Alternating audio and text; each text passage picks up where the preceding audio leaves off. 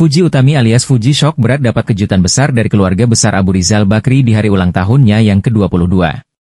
Seperti yang kita ketahui selegram Fujianti Utami alias Fuji baru saja merayakan ulang tahunnya yang ke-22 pada 3 November lalu.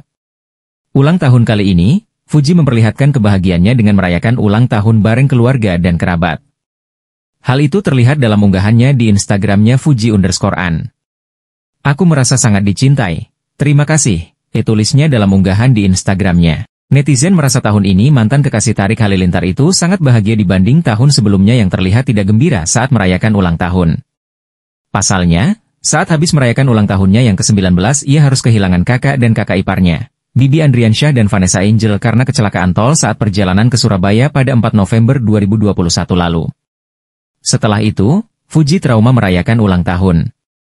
Tak ada senyuman dan perayaan hanya ada kesedihan dan ziarah ke makam sang kakak. Namun, di ulang tahun ke-22 ini terpancar kebahagiaan dan senyuman. Selain itu selebgram Fujianti Utami Putri alias Fuji mendapat kejutan spesial dari keluarga dan sahabat tepat di momen ulang tahunnya ke-22 pada Minggu, 3 November 2024. Momen perayaan ulang tahun anak bungsu Haji Faisal dan Dewi Zuhriati itu salah satunya dapat dilihat melalui akun media sosial Instagramnya Fuji underscore an.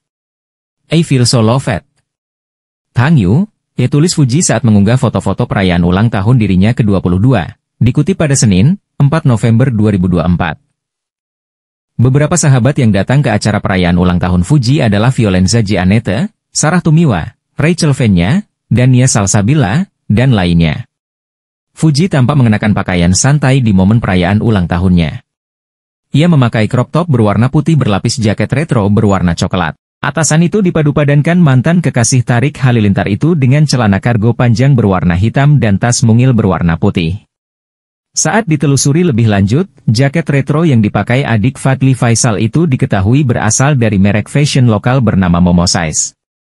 Jaket tersebut bernama Retro Varsity Jacket yang dibanderol dengan harga Rp 900.000, bahkan bisa menjadi Rp 595.000 jika sedang diskon. Penampilan Fuji di momen perayaan ulang tahunnya itu pun tak luput dari sorotan netizen.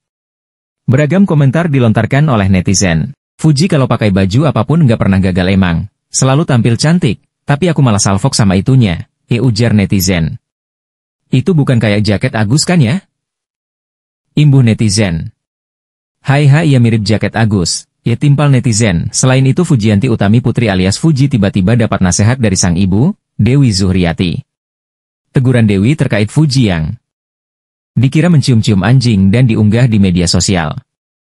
Momen Dewi yang menegur putri bungsunya itu diunggah sendiri oleh Fuji di akun media sosialnya. Dewi sendiri menegur putrinya melalui pesan singkat. UTE kalau cium-cium anjing itu jangan dikontenin dong, kita orang Islam nak mohon mama dihapus TikToknya yang ini ya. Ibunyi pesan Dewi Zuhriati dalam Instagram story yang dibagikan Fuji pada Selasa, 5 November 2024. Jangan bikin juga peluang buat dihujat nak. Gak salah aja dicari-cari kesalahan UTE apalagi Uti deket-deket anjing gini nak. Isambung ibunda Fuji. Mendapat teguran dari sang ibu, Fuji menyebut bahwa yang ia cium bukanlah anjing melainkan kucing. Diketahui hewan yang dicium oleh Fuji memang kucing, namun Dewi mengira seekor anjing. Pasalnya Fuji mencium kuding jenis SPHYNX yang khas tak memiliki bulu. Kucing tersebut merupakan kado dari salah satu sahabatnya, Erika Charlina.